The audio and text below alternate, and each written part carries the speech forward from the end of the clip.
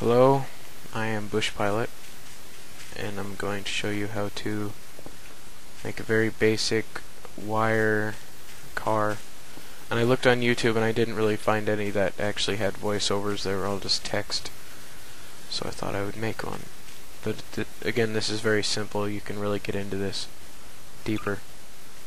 Alright so I'll spawn something for the base like this prop here now you need some wheels. So spawn some wheels.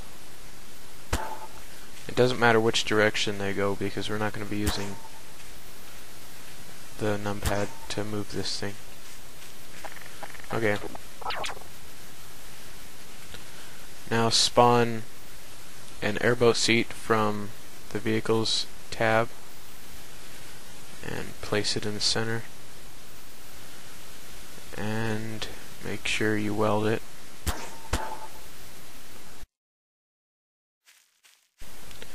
Okay, now go to the wire tab and then go to input output advanced pod controller spawn one up right behind the seat and then right click on it and then right click on your seat and then it should say advanced pod linked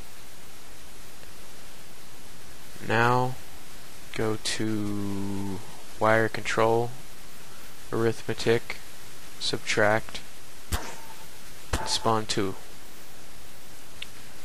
Now we're going to put the thrusters on, so go to wire physics, thruster, and spawn a couple on the back here. And then you're going to want to spawn one up here and make sure it's a bigger model because the big a bigger model's in the back one because it will not turn if it doesn't have enough thrust and for some reason the model will change how much thrust is being put out so. Okay now we're gonna wire it up. So go to the wire tool or wire advanced. Wire both of these back thrusters to one of the same subtract gates and wire the side one to the other gate.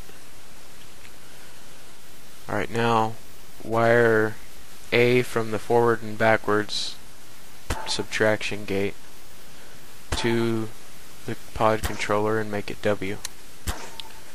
And then B and then make it S. Now for the left and right gate make A, B A, and then make B D.